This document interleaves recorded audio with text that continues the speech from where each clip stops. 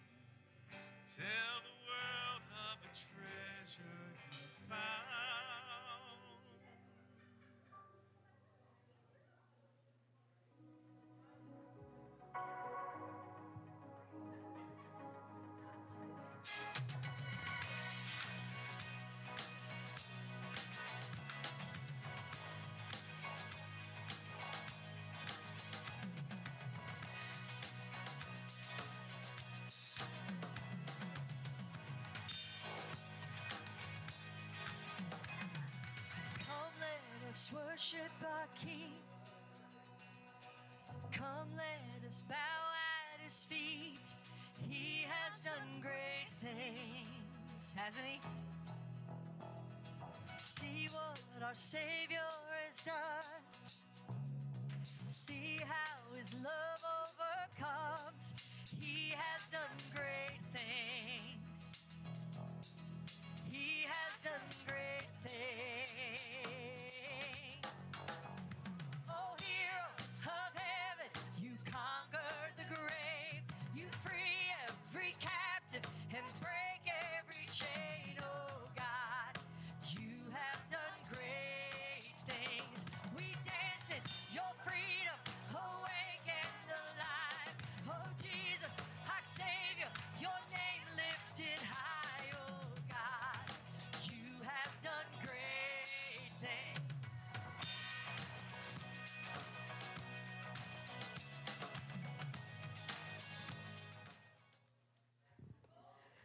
Good morning, Emmanuel Church. I should say good morning, Team Emmanuel. How you guys doing out there today?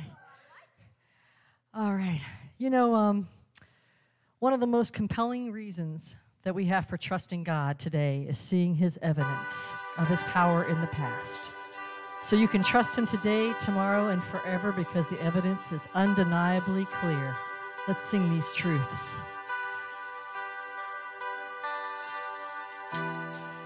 Throughout my history,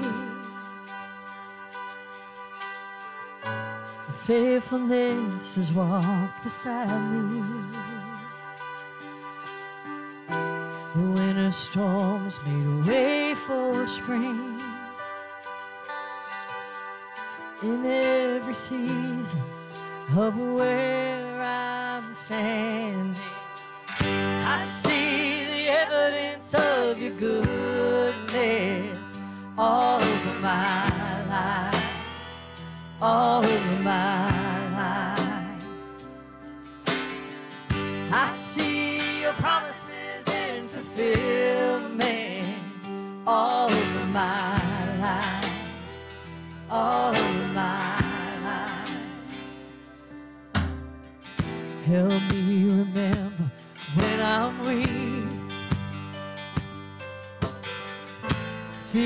May come, but fear will leave. You lead my heart in victory. You are my strength, and you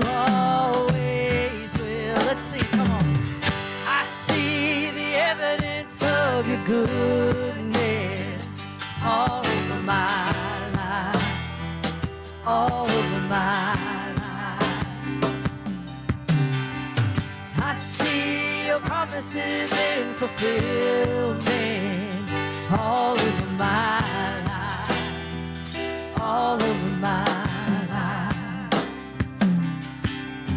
See the cross, the empty grave, the evidence is endless. All my sin rolled away because of you, oh Jesus. See the cross, the empty grave,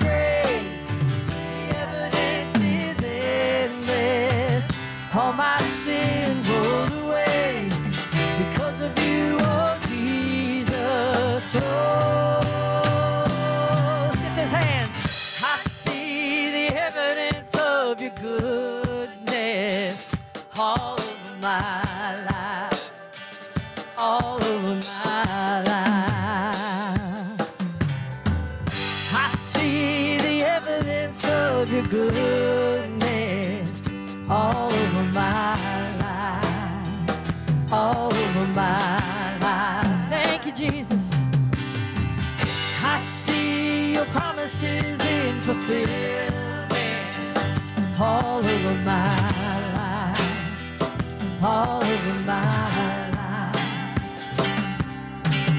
Why should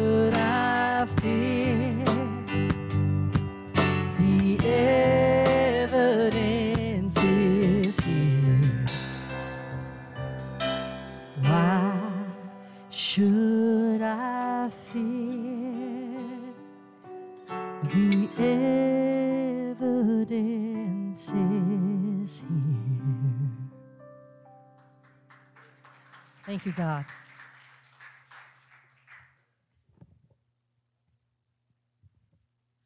Now, another slow one. Come on, y'all. Y'all are learning this song.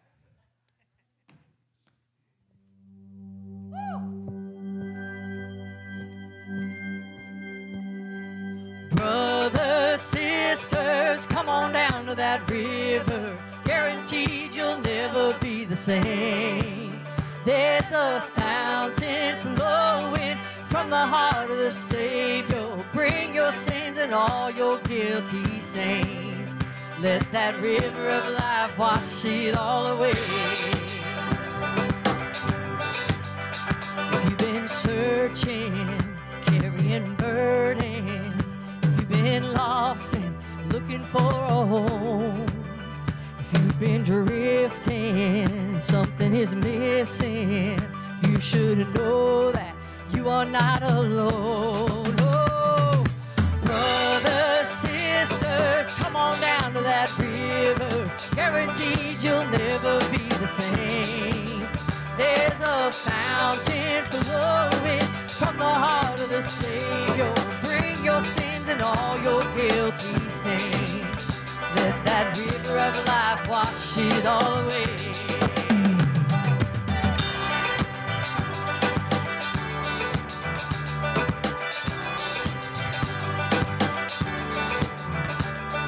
Come as you are, no time to wait. Open your heart, don't be afraid. Jump on in, the water is fine. There's healing in the river of life. Come on on, time to wait. Open your heart, don't be afraid. Jump on in, the water is fine. There's healing in the river of life. Brothers, sisters, come on down to that river. Guaranteed you'll never be the same. Brothers, sisters, come on down to that river. Guaranteed you'll never be the same. There's a fountain flowing from the heart of the Savior. Bring your sins and all your guilty stains. By the blood of Jesus, everything will change. Let that river of life wash it all away. Hey, hey. Oh, come on down to the river.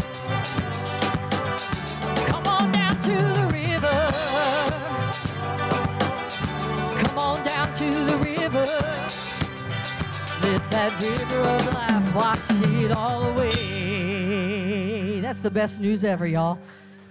Amen. Amen. Thank you. Thank you. You may be seated. All right, Janet, I got to just tell a story. All right, I'm going to tell a river story. In 50, 50 years of ministry, I've only done two river baptisms. One was on the eastern shore, and the other one was in Nigeria, Africa. And the one in Nigeria, after 17 days of preaching three times a day, I had 27 people to baptize in the river. And so we, we came, they came from all over the jungle and all over the village, and we met down at the river and we sang for 38 minutes. And then I baptized 27 folks. It was absolutely an incredible experience I'll never forget. And 27 people found the river of life in a place called Nigeria. It was a very special, special time. I hope you have been baptized. If not, come on out in the river today. I'll help you out, right? we'll break the ice in the Chesapeake. Amen? It wouldn't matter, would it? You just get right. You're ready to follow Jesus. Good morning, everybody. I'm Pastor Stan. it is good to have you with us, and it just really is. And we welcome you here to Emmanuel. And when you came in, uh, hopefully you were given a, a, packet of material. And if you'll take this card out, uh, just give me a few seconds. I'll explain how important this is. Uh, just not only here in this worship, but as we use this to communicate and do ministry uh, here in Huntingtown and across our world, okay? So please put your name and print your name and address and all of that good stuff so we can connect with you. Uh, over on the right hand side, it says the first time guest. Check that box or second time guest and use this. On the way down, on the left hand side, is called Next Steps. Uh, Pastor Rick will, uh, as he talks about our new series today and a healthy church and teamwork, all of that, he'll come back to these next steps and you'll want to know where they are, okay? Under that is our prayer and praise uh, request. You can write to us and share with us. Uh, we read these every week. I tell you that every week. I mean that every week. And we respond where it's appropriate. So feel free to share your heart with us, whatever we can pray for you and with you about. On the other side is our serve side. and uh, this is a very, very important couple of weeks for Emmanuel, okay? Uh, we need to act as a team this week, big time, because we start with Night to Shine on Friday night, and it's still time to sign up. Uh, we'll have a meeting after church, and uh, we'll be assigning people. So if you've not uh, helped us out with the wonderful opportunity of, of giving these special folks uh, a joy, joyful night in their life. Come on out and help us out with that. So you'll want to think about that, pray about that. And then also, safe nights, uh, which is when we use this building as a shelter for homeless folks all week long, starts Sunday night, a week from today. So please help us out, be part of our team. this is a big team effort, both of these ministries. So I want to say all skate. Everybody skates on this, okay? Not just folks who have time. None of us have the time to do a lot of this, but we make it because this is what Jesus would have us to do as a, his team here on earth, right? So join us in that. Think about that, pray about that, check that box, and we'll have somebody get in charge and in, in touch with you. It's so good to have you out. I hope that God will give you a great blessing this day. Let's pray to Him. Father, thank you for this good week opportunity to serve you in so many ways as the Jesus team of Emmanuel, in a sense. Uh, you use us as your hands and feet while, while we're here on this earth, and I pray that we can do that as a church with all our heart and all our soul and all our mind. Bless our time together, Father. Thank you for these wonderful songs that lead us and express our heartfelt faith to you each and every Sunday. In His name we pray. Amen. Amen. Let's stand and sing together. Have you made a decision to follow Jesus?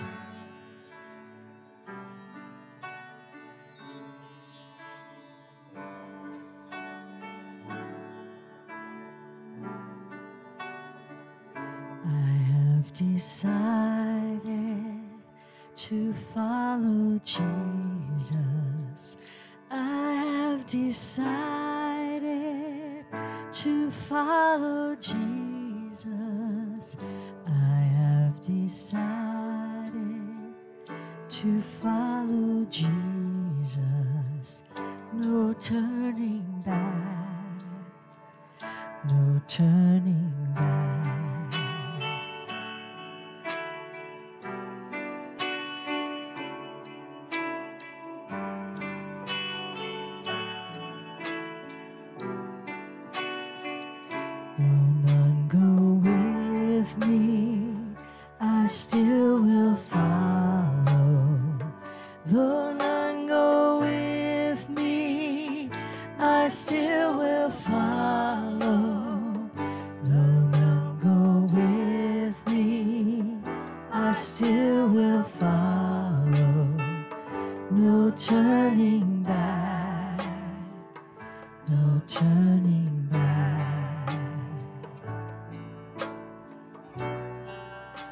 you've considered becoming a follower of Jesus for the very first time, or maybe you've surrendered your life to Him in the past, but somehow you veered off the path.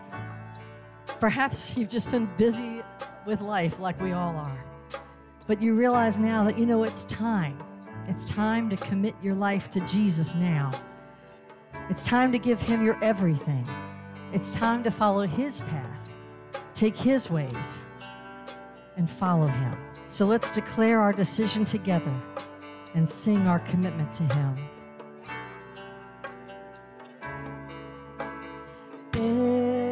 Everything, all I am and all I have to bring, I will give to you my everything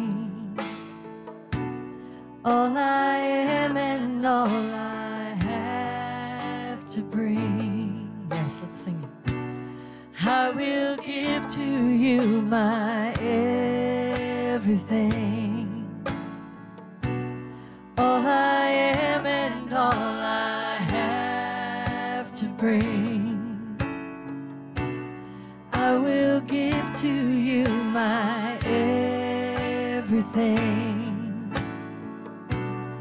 all I am and all I have to bring. I will give to you my everything. My heart surrendered, my Jesus, I am yours, and I will follow, and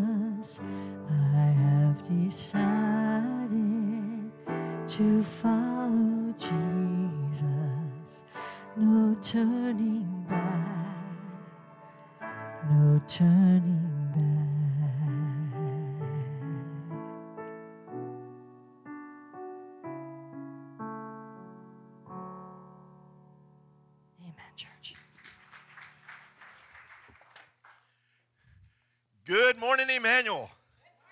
Man, you guys look amazing in your gear this morning. Give it up for yourselves. Well done. Now, didn't it feel a little wrong to dress like this for church in the morning? I, it was sort of like eating breakfast food for dinner. It, it was, it's so wrong, but it's so right. Amen. And so let me just let you know how we're going to do this today. Um, I'm going to preach a little bit, and then we're going to sing a little bit more, and then at the end of the service, uh, I'm going to I'm going to take a three point shot, which is about four rows back, and when I make it, you're dismissed. Okay? Um, if so we're going to be here for a while, so I hope you got your donut or your breakfast bar or something else. Amen. We're going to be here for a while. It's so good to be with you this morning. It was the first day of training camp, 1961, long time ago. 38 members of the Green Bay Packer football team gathered and arrived to begin and prepare for a brand new season. The previous year ended pretty poorly. The Packers lost 17 to 13 to the Philadelphia Eagles. It was a terrible loss. They squandered the lead. And so this year, the players come and they begin to gather together for the first day of training season, and they're all excited about playing smarter, playing better, and they knew that this year was going to be the year that they were going to win the NFL championship game. And so they were eager, they were excited, they were ready to get started. They were ready to do better, to play harder, to play smarter. They were going to do exactly what the coach wanted them to do. But Coach Lombardi had a different idea. He walked into the locker room that day. How about that? We practiced that all week. That was good. Walked into the locker room that day and he said, Gentlemen, this is a football. And he began with the basics. And he went back to the fundamentals. He wasn't worried about executing significant or detailed game plan or, or anything like that. He wasn't trying to be out uh, to outsmart any other team. He wanted the team to just get back to the basics, to get back to the fundamentals. Game, team. God's game plan for a, healthy church is what we're going to be talking about over the next four weeks. And, and we're going to discover together the fundamentals of what it means to be a healthy church. Now, some of you are going to say, man, this is so basic. This is, this is so elementary. Exactly. I think every now and then it's good to get back to the basics. Amen? Hold on to that for me, would you? How about that team Jesus? He's pretty good hands. Amen? That's pretty good. That's pretty good. Thank you, brother. So let's begin with uh, Romans chapter 10 this morning, and let's consider what God's game plan is for his team, the church. The Bible says this in Romans chapter 10.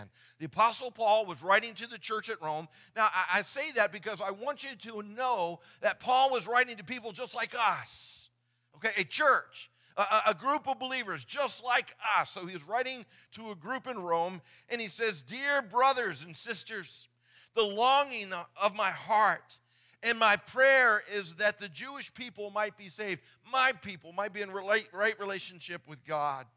He said, I know what enthusiasm they have for the honor of God, but it's misdirected zeal. It's, it's misdirected, it's misguided, it's, it's not correct. For they don't understand that Christ has died to make them right with God. Circle those three words for me today right with God. Circle those three words right with God. Paul says, For they don't understand that Christ has died to make them right with God. Instead, they had another plan, another play. They were trying to make themselves good enough to gain God's favor by keeping the Jewish laws and the customs. But that is not God's way of salvation. That's not God's way of salvation. Throughout the centuries, man has always attempted to figure out how to get to God on his own. And that's true even in our day, in our own culture. People believe that, that if I'm good enough, I'll get to heaven. The question is, how do you know if you're good enough? Well, if I have enough points, how do you know if you have enough points? Well, well if I do more good than bad, who's keeping score? who's keeping score? Some people think that, well, if I go to church, then, then I'm good enough. Then God has to see me going to church, and, and so He'll let me into heaven. Some people believe this is crazy that, that if you're born in America, you get an automatic pass. I, am an American, therefore I, I get to go to heaven, right? Well, talk to our Canadian friends about that. They might have issue with that. what about the rest of the world? People say, well, well, I was baptized, or I was this, or I was that, and, and, and so I, I, get to go into heaven, right? I'm a, I'm a nice person. I'm not as mean as they are. they say the same thing about you, by the way. And so man has always tried to figure out a way to get into heaven. God desires for his people to be in right relationship with him. I had you circle the words right with God, and that's what it means to be righteous. To be in right standing with God, to be right with God. And God has provided the way to make that possible. I love the end of this verse, but that is not God's way of salvation. Keeping the law, being good, being baptized, being born in America, those are not God's way of being right with Him. So the question is asked what is the right way? What is the right way to be right with God, to be on His team? There's a very familiar passage. I've shared it with you often. It's John chapter 14, verses 1 through 6. Uh, let me just share it with you. It's not going to be on the screen, or, or, actually, the end of it is, but the whole passage is not going to be on the screen today. It's when Jesus was consoling his followers, his disciples, after he told them in the upper room that he was going to die.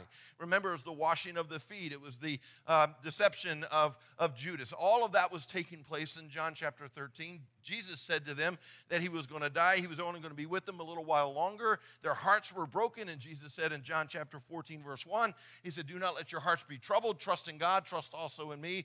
And then he began to talk about heaven. He said, Look, I go to prepare a place for you. I'm going to go take care of this. I'm going to, I'm going to build your mansion for you, your place, your dwelling place forever and ever and ever in heaven. And I love Thomas' question. Thomas said to the Lord, He said, Listen, Jesus, we don't know where you're going. So, how can we possibly know the way? And Jesus said this Jesus answered, I am the way and the truth and the life. The what way? The what way? The only way to the Father is through me. Notice Jesus didn't say a way to the Father, it's through Jesus.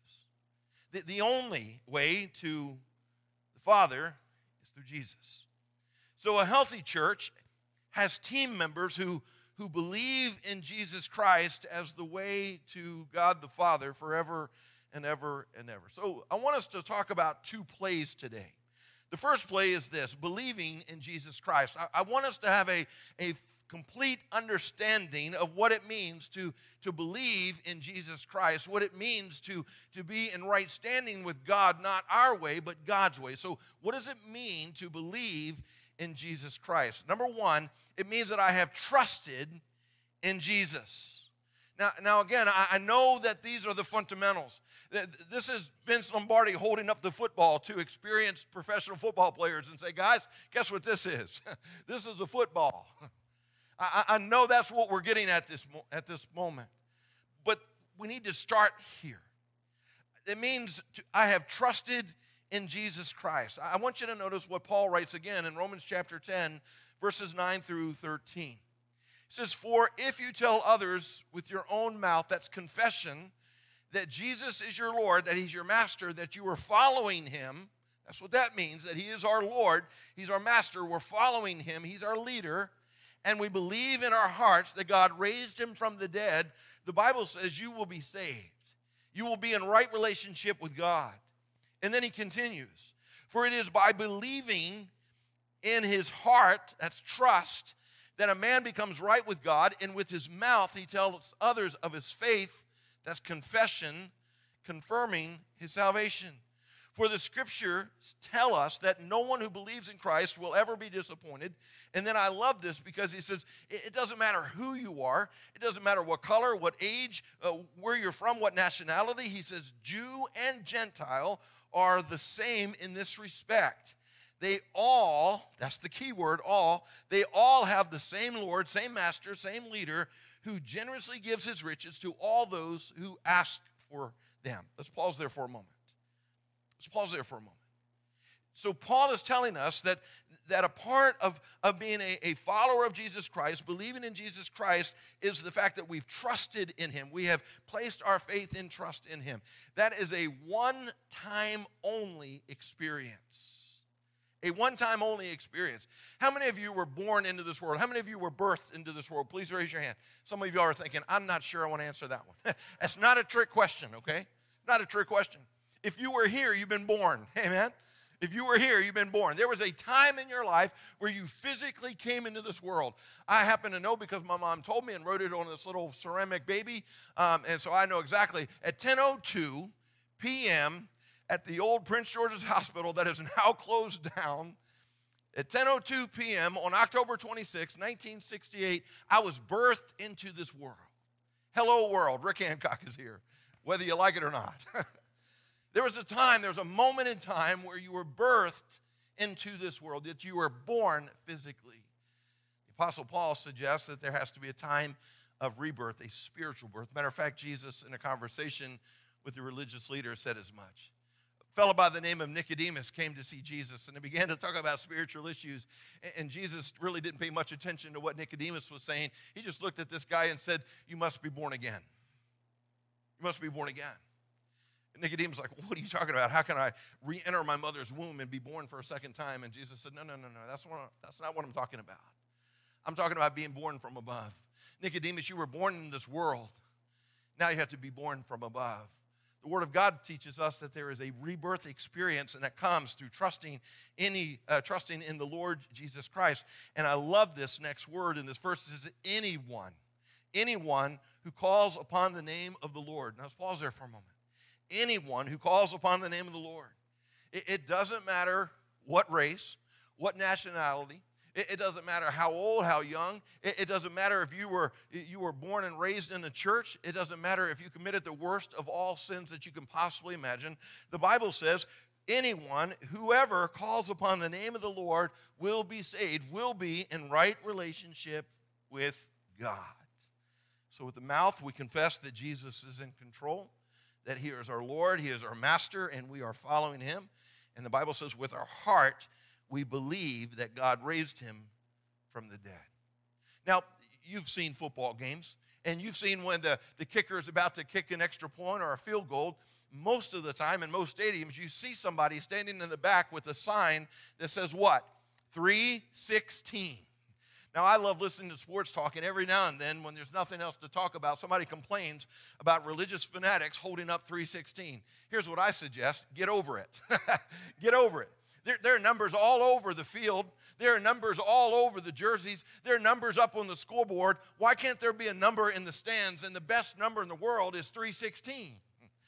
Because it says this For God so loved the world that he gave his one and only Son, one and only Son, that whoever believes, don't you like that? Whoever believes in him shall not perish, but have eternal or everlasting life. And so believing in Jesus means that there was a time where we trusted in God. We placed our faith and trust in God. We were born again. We were born from above. We had this new birth experience. Number two, it also means that I have personally accepted Jesus. I have personally accepted Jesus. I want you to notice what Ephesians 2 8 9 says. The Bible says, For it is by grace. Grace, what is that again? It is unearned forgiveness and undeserved love from God. For it is by grace you have been saved, made right with God through faith, and this is not from yourselves. Now, notice the next line it is the gift of God. It is a gift from God, not by works, so that no one can boast. Now, listen, if we have to earn a gift, it's not a gift, right? If we earn something, that's a wage, that's a price paid for, uh, for uh, activity or, or assignment completed. The, the Bible says that salvation, uh, being right with God, is a gift from Him. It's given to us freely. And so we don't earn a gift, but we do what with a gift? We receive it or we accept it, right? It becomes ours by receiving it. Matter of fact, the Bible says in John 1 12 as much. Yet to all who did receive him, accept him by faith, to those who believed in his name, God gave them the right to become the children of God. Children of God are in right standing with God. We become a part of God's team. Children born not of natural descent, not of human decision or a husband's will, not because of a husband and wife coming together and being intimate, but born of God. Again, making reference to what Jesus said to Nicodemus in John chapter 3. You were born physically into this world. That was because your mom, mother and father came together in intimacy. And now he's suggesting that there is a spiritual birth that takes place. And this is a gift from God that is not earned or credited because of our good works, but given to us because of God's grace. And so for me to be uh, a believer in Jesus Christ, I have to trust in Jesus Christ. I have to accept the gift personally, uh, not what my parents did for me when I was an infant or, or, or my grandmother being a, a, religious woman. That has nothing to do with my personal decision to accept Jesus Christ. It is a personal decision. And thirdly, it is I'm following Jesus Christ. I become a follower of Jesus Christ. Now, now notice how this works. I have trusted, I have believed in Jesus. I did that once. I have accepted Jesus, the gift of God. I did that once and I have decided to follow Jesus. I did that once, and now I continue to follow Jesus. I want you to notice it's a both and. There was a moment in my life where I decided to follow Jesus there was a moment where, where, where, God's conviction, God said, you know what, I, you're not right with me. And, and so I, I came to uh, understand that I believed in him, I accepted him. And there was a moment as a 13 year old boy that, that I began to follow Jesus Christ. I did that once, and now the rest of my life, I am a follower. If you are a follower of Jesus Christ, you had the same experience. You had the same experience. Now, for me, it was at Landover Hills Baptist Church. It was red carpet. It was right there, basically where Skip is. I was kneeling down at the front with my youth pastor after I've talked to my pastor. He shared the gospel with me, and I gave my life to Jesus Christ. For some of you, was in the woods. Some of you, was at home. Some of you, was in the office. Some of you, is maybe on a beach somewhere. It doesn't matter where. It just matters that you did it. I want you to notice what the Bible says in Matthew chapter 4. Jesus calls his followers in the early days of Jesus' ministry, he began to gather his team, his disciples. And the Bible says this one day, as Jesus was walking along the shore of the Sea of Galilee, Jesus saw two brothers, Simon, also called Peter, and Andrew, throwing a net into the water, for they fished for a living. And Jesus called out to them, Come and what? What does it say? Follow me. And I will show you how to fish for people. And, they left their nets at once and what? They followed A, little farther up the shore, he saw two other brothers, James and John, sitting in a boat with their father, Zebedee, repairing their nets. And he called to them, Come too. And they immediately what? Followed him, leaving the boat and their father behind. So, Peter and Andrew, James and John teach us a very important principle about what it means to be a follower of Jesus Christ. I'm going to, I'm going to show you something right now that's going to blow you away. You're not going to believe this truth, this insight from the Word of God. Are you ready for this? You're thinking, okay, what is it? You're not going to believe this. Followers of Jesus Christ follow Jesus Christ. Wow. But if you think about it, Wow. Wow.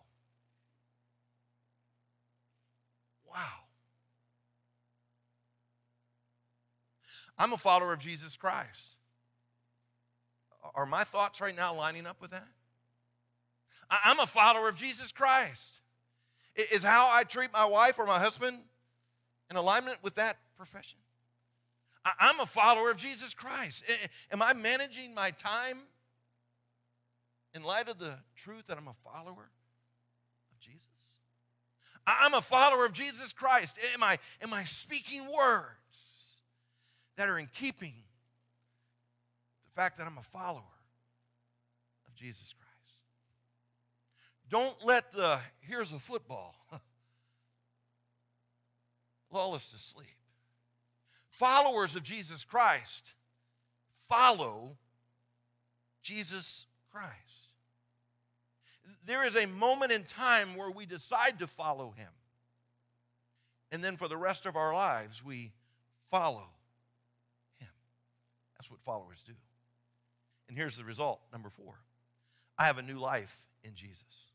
I have a new life in Jesus. So that means that, that trusting and that accepting and that, and that following results in a radically changed life. The Bible says in 2 Corinthians 5:17, this means that anyone who belongs to Christ has become a better person. That's what it says, right? Oh, it says new person. yeah, new person. Now, we do become better, but because we're new. The Bible says this means that anyone who belongs to Christ has become a, a new person. The old is gone, and a new life has begun. Not just better, but new. Let me illustrate it this way.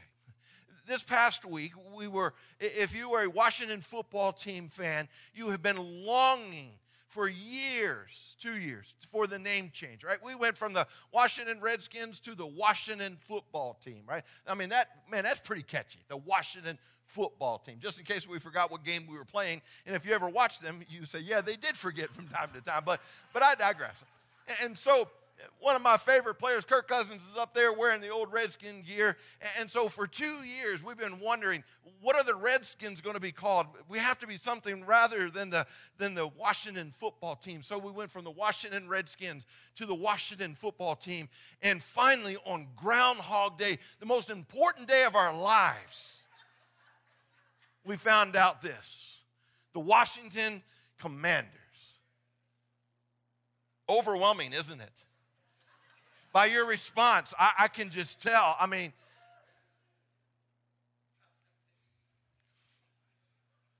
oh, I, I hope Dan Snyder's not watching this online. It's the same old team with a different name. Not true for the follower of Jesus Christ. We're not the same old person cleaned up, we're in a different jersey. We are a brand new person. The Bible says the old life is gone and the new life has come. Trusting and believing and accepting Jesus as our Savior results in a new life. The Bible teaches us that, that we are a brand new person. We are a child of God. We are part of the family of God. We are invited to, to be a part of the team we're on God's team. We, we wear Team Jesus, as Skip is wearing for us. Team Jesus. That's who we are a part of today. We also have a new position. We are now in right relationship with God, the Bible teaches us. Before we were the enemy of God, and now we are in right relationship. God, we're a new person, a new position. We have new passions. The four brothers give us, a, give us an example of that. They loved to fish. Jesus said, Follow me. They left that behind and they developed a passion for following people. And so, as followers of Jesus Christ, there's a, a new passion, new interest, new desires in our life. And I love this. We have a new place that we'll experience forever and ever and ever. And that's a place called heaven. And so, what does it mean to be a follower of Jesus Christ? It means we believe, we trust, we accept, we follow. And as a result, there's a brand new life. See, God's team, God's church believes in the Lord Jesus Christ. I am so thankful that one of our core values here at Emmanuel Church is that we believe in the Lord Jesus Christ. We believe in the Lord Jesus Christ. Because today, if I got up and said we believe in God, and people heard that and did not understand, most people say, well, I believe in God too. And they get to define what God means capital G or little g. They get to define and shape and mold which God we're talking about. But there's no ambiguity here. We are followers of the Lord Jesus Christ, and because we are followers of God's Son, we also believe, number two, in God's Word. The second play I want us to talk about. God's team, God's church, we believe in the Lord Jesus Christ. We believe in the right person. And secondly, we believe in the right things. I'm going to blow your mind with this. Did you know that God wants to talk to you? Isn't that crazy? That God, the creator of the universe, the God who always existed, who exists now and forever will exist, desires to talk to you. The Bible says in Hebrews chapter 1, verses 1 and 2, that long ago God spoke to the fathers through the prophets. But in these last days, the Bible says, He has spoken to us by His Son. Actually, the word His is not even there, which makes it even more powerful. The Bible says this In these last days, God the Father has spoken to us in Son, in Son language. He sent His Son to be the living Word for us. And we believe in the Word of God. The most common way that God speaks to us is through His Word. Listen, church, I understand we're getting back to the basics and the fundamentals here. Some of you are saying, I know this. Praise God, you know this. Amen. I'm telling you, there's a generation in our culture today that does not know this. God speaks to us primarily through the Word of God. A lot of people today believe that God speaks to them primarily through experience or by feelings or through nature. And God does that, but primarily He speaks to us through His Word. And the Bible accomplishes two goals. Number one, it declares the method of salvation. The Word of God teaches us in the Old Testament and the New Testament the method of salvation. The Bible says this in Romans chapter 5, verses 8 and 9. But God demonstrated, or God showed his great love for us by sending Christ, Jesus, to die for us while we were still sinners. And since we have been made right in God's sight, don't miss that. Since we have been made right with God's sight, in God's sight by the blood of Christ, the blood of Jesus, he will certainly save us from God's judgment or condemnation. Why is this important? Why is this important for me to share this with you today? Because many believe that the method of salvation is through works, through goodness, through kindness, uh, by being just a, a good citizen, and all of those things. There are also the people who believe that, that the most important aspect of Jesus is not his death, burial, and resurrection, but his life. Now, his life is critically important. The life of Jesus is absolutely important. That's why we have the four Gospels. That's why we see his, his incredible birth and, and his early childhood. I wish we knew more about his younger years, don't you? When we get to heaven, we can ask him about that. We have plenty of time.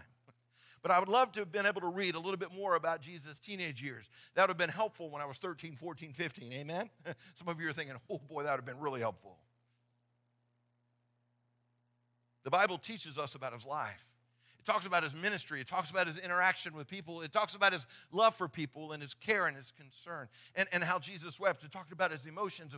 We, we read the life of Jesus and, and we see his relationship with the Father. The life of Jesus is absolutely essential. But can I tell you this? we are not saved through the life of Jesus. We are not made right with God through the life of Jesus. And I know I'm, I'm, I'm, really skating on thin ice here because, because the life of Jesus is absolutely essential. Don't miss that.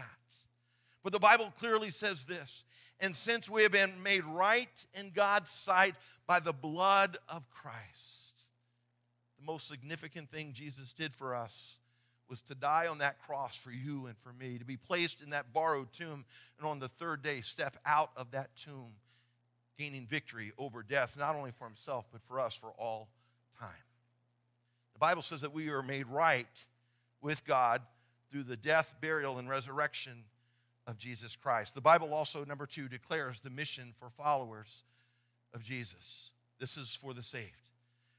It shows his team how to live, how to love, and how to serve in order to please God.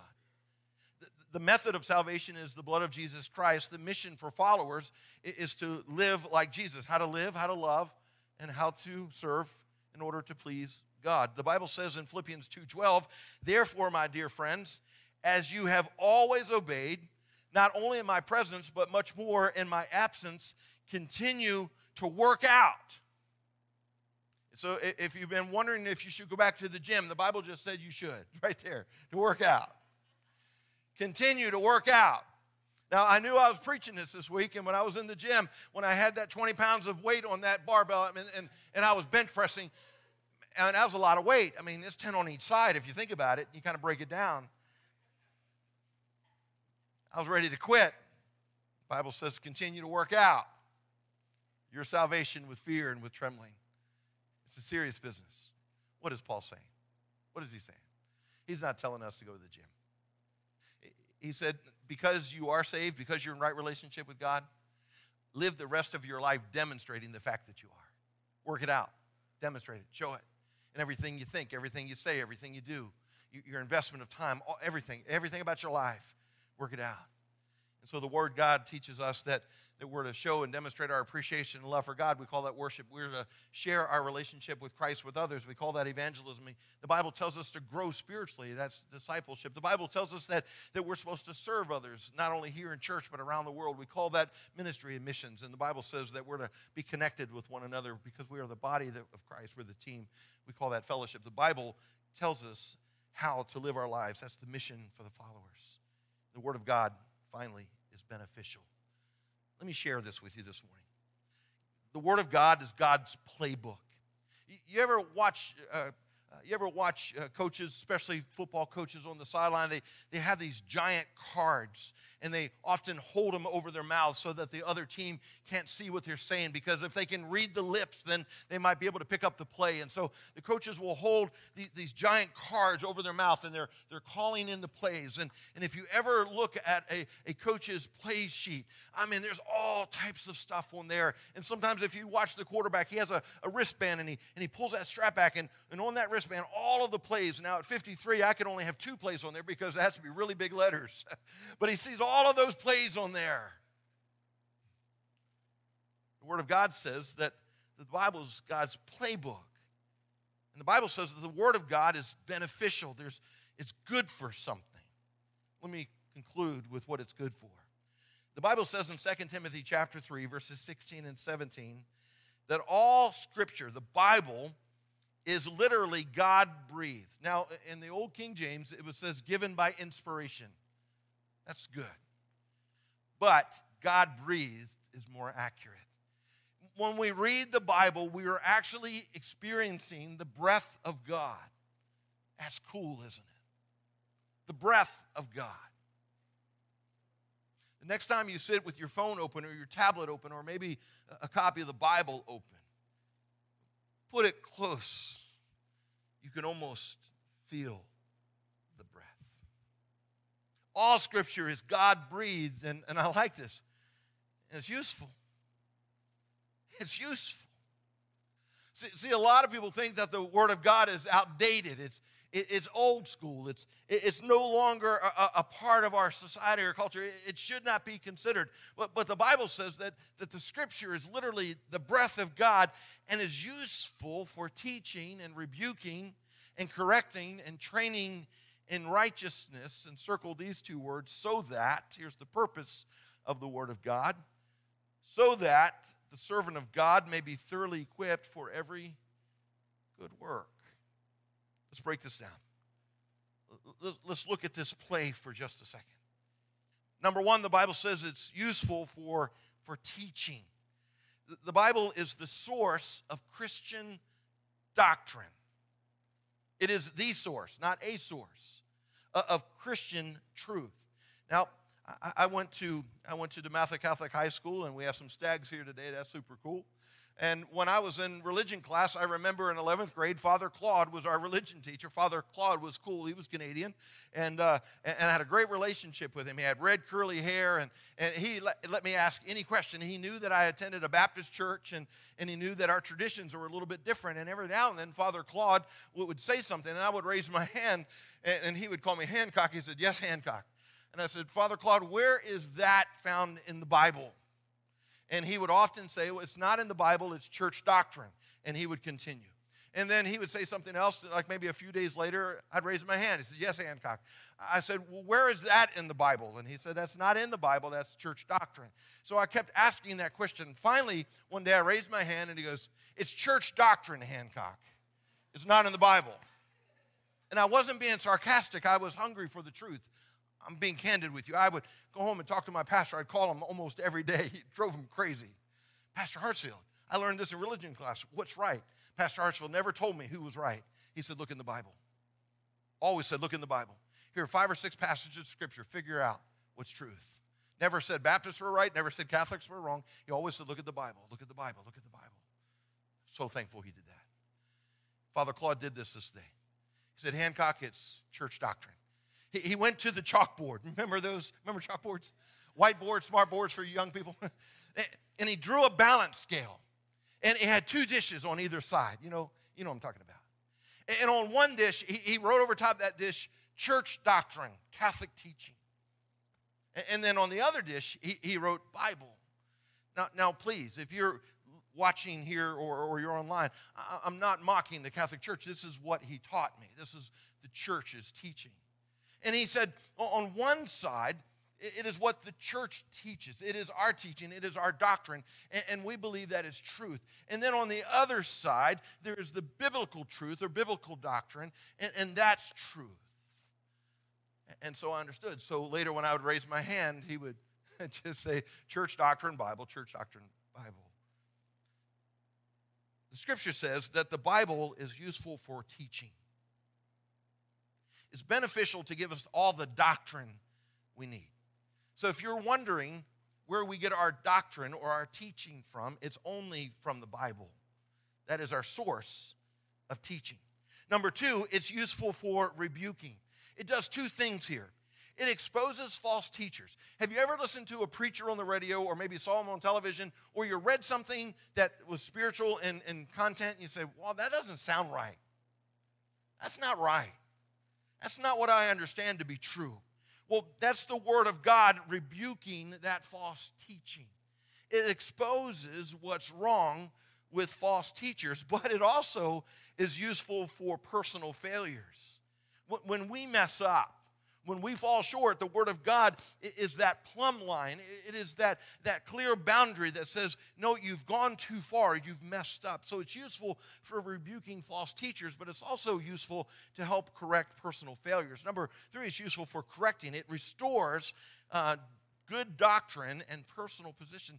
It, we know where to go for the truth. The Bible says it is truth. Jesus said this in his prayer. He said, Father, sanctify them in truth. Your word, Father, truth. And it's also useful for training, resulting in righteous living before God. Number five, it changes and equips me for my life's purpose. I love what the message paraphrase says here. Through the Word of God, we are put together, and Pastor Stan, you'll like this because you teach third base. Through the Word of God, we are put together and shaped, shaped up for the task God has given to us. The Word of God is not meant to give information only, but it's meant to bring transformation in our lives.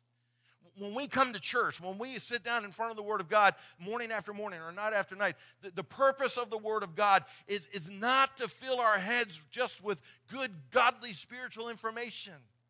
That's not the only purpose.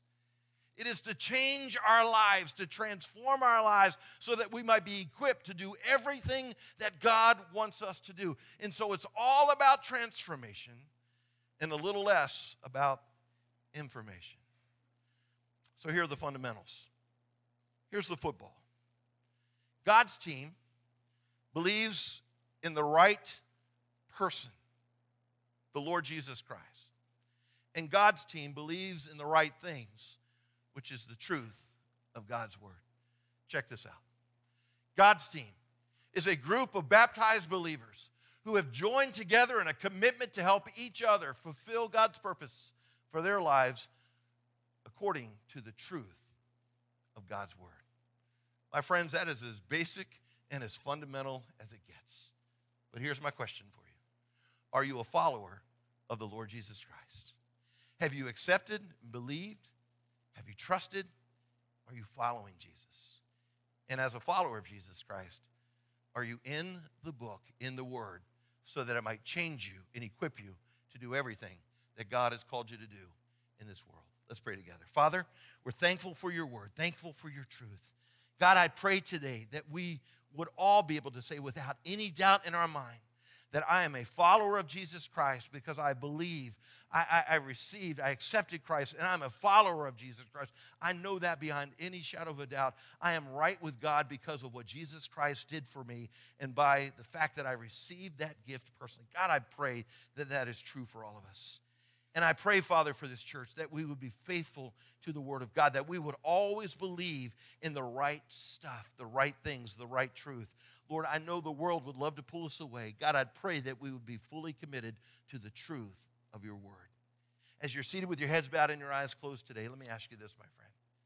Has there ever been a time where you believed and trusted and accepted the Lord Jesus Christ?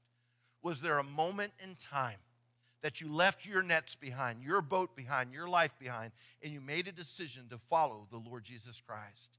If not today, you can say yes to him. Pray something like this Dear God, the best way I know how right now, I'm saying yes, yes. I believe, I trust, I want to follow, I want you to lead. I want you to be my God. I want to be your child. I want to be on your team. God, today I place my faith and my hope in you. And I pray this with joy in Jesus' name. Amen. I want you to take your connection card very quickly, and I want you to look at the next steps on the bottom left hand corner. Number one, if you made a decision to follow Christ today, please let us know that, either online or here on campus. We would love to rejoice with you and celebrate with you. We also want to help you in your new journey with Jesus Christ. Number two, this is really important. Uh, I will register for First Base, which is our membership class for March 6th. Now, listen carefully. This is really important. This is brand new for 2022. We are going to offer First Base in the morning not at night on Sunday, on March 6th is going to be from 9 o'clock in the morning to 11 o'clock in, in the morning. So from 9 to 11, we're going to offer first base. We're going to meet in the video venue. And so some of you can't come back on Sunday night. We totally get that. So we're going to try to make it as easy and as convenient for you as possible. And so I'm going to be teaching most of it, and uh, I'm going to have some help during the uh, uh, during the interim. And so we also have childcare available, so that takes that excuse away. So we're going to take care of your children. We're going to provide the opportunity on Sunday morning. So March 6th, if you've never taken first base, we would love for you to register for that so that you can become a member of Emmanuel Church. And number three, I will begin reading God's Word daily, and we can help you with that if you are not in the habit of reading God's Word. We have devotionals out on the guest table, which is right out on the foyer on the right hand side. Pick up your free copy of your devotional. You can begin reading tonight or first thing tomorrow. Let's continue in our worship. Stand with me if you would, please. Amen. I hope you guys, those of you out there that needed to make that decision today, I hope you made that decision and you became a believer. Let's sing our praise to Him.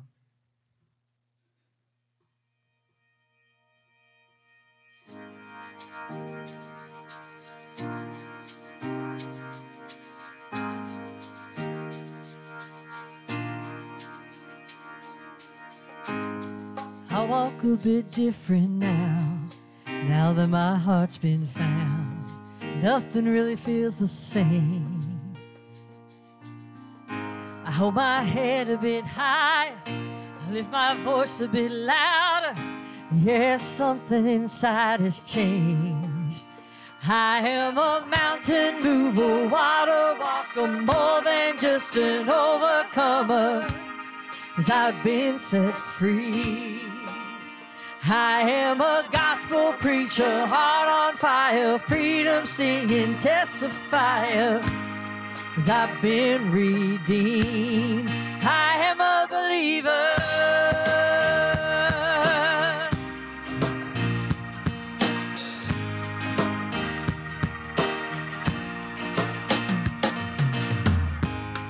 I know this is not my home. I know I don't walk alone. No matter what comes my way. I have peace through the trouble. I have joy through the struggle. And now my hope's in a brighter day. Come on, let's sing. I am a mountain mover, water walker, more than just an overcomer. Cause I've been set free. I am a gospel preacher, heart on fire, freedom singing, testifier. Cause I've been redeemed.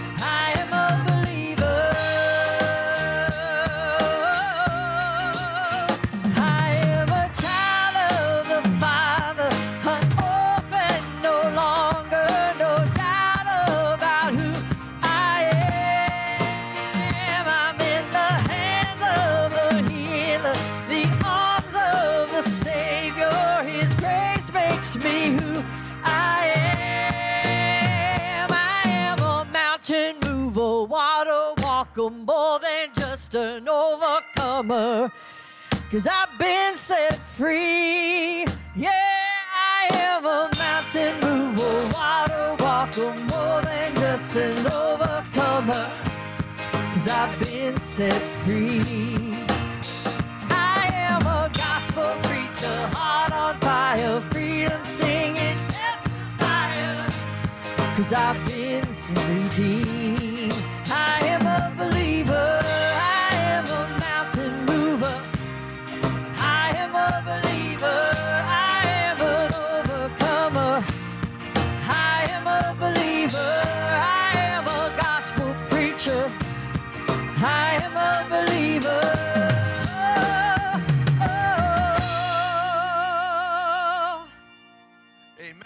Amen. If you're a believer here today, say amen. Amen. Praise the Lord. Hey, let me just remind you uh, that we do have a night to shine coming up this Friday night. Now, listen, if, if you're new to Emmanuel Church, and many are, you're thinking, what is night to shine? It is our opportunity as a church family, as a team, to show our love and respect and our acceptance of a community that has often neglected those with special needs. And often in the past, we, we would turn this worship center into a dance floor, and it was incredible. It was a prom like experience. It was amazing with tuxedos and limos and the whole deal. But because of COVID, uh, the national organization, Tim Tebow's Foundation, uh, is asking every church, every organization all around the world to do a drive through again this year. It breaks our heart because it's not as intimate, it's not as fun, but it is our opportunity to show a community that is often neglected by faith communities just how much we love our families here in our community. So if you're not a part of this, uh, just check on that uh, box, or if you'd like to know more on the back of the card, just check uh, Night to Shine, and uh, Christine or somebody from the team will reach out and get you plugged in. You will never forget your experience this coming Friday night with Night to Shine. It's going to be an incredible, incredible opportunity. Also, let me just remind you to continue giving to the offering. Uh, there are ways to give. You can see that online. Many of you give online. Thank you for doing that. But if you use your offering envelope, uh, thank you for doing that. Thank God for your uh, for your continued faithfulness. Because of your gifts, we can do ministries like Night to Shine and Safe Nights. Uh, great opportunities to reach out to our community. So it's not just about painting the walls and cleaning the carpets. It's about reaching people for Jesus Christ. And if you look on the back of your bulletin, you'll notice an update for our Family Life Center. Uh, you have given over 310,000 in less than a year. Amen. That's incredible. That is unbelievable. So we are we are well within target. So if you are uh, if you're giving on a regular basis, thank you for doing that. If you got a little behind during the Christmas season, totally understandable. Use these next few weeks to get caught up. And if this is brand new to you, like what is the Family Life Center? What is the Continuing Division? Uh, see me after the service, and I'll give you one of our brochures to let you know exactly what uh, we're talking about. We're going to build a 12,000 square foot building right back there uh, behind the parking lot Lord willing, beginning in May. That's what we were told this past week. So things are coming together, and we're really excited about this opportunity. So we want you to be a part of that. And I wanted to thank you uh, so much for giving that much money during a COVID season. That is pretty, pretty incredible. Listen, if you are a guest with us today, thank you for being here. Thank you for being a part of our new series. Thank you for coming to Emmanuel Church. A lot of great churches in the areas, and we just know that uh, by coming here, we're blessed, and we're so thankful that you came. We want to do a couple things. We want to thank you by giving you some, some resources, some gifts, and so as you walk out the door on the right-hand side, underneath the monitor, uh, you'll see a beautiful table with all types of uh, items on display. They're all for you. Just take as much as you want. Um, you can take one of each, really. Just take as much as you want. We just want to say thank you for coming. If you gave your life today, today to Christ for the very first time, we have a new believer's Bible. We want to give that to you. That's free of charge. And then the second thing we want to do with all of our guests and with all of our friends, we want to spend time with you back in our Welcome Center. It's our fellowship halls where we have coffee and uh, I was going to say donuts. Man, I wish I had a donut, but that sounds good. And we have breakfast bars and all types of good stuff back there. It's all free. Just gives us a chance to spend some time with one another. We would love the opportunity to get to know you personally. God's been good, hasn't he? All right, so here's the game plan. We're all warmed up, right?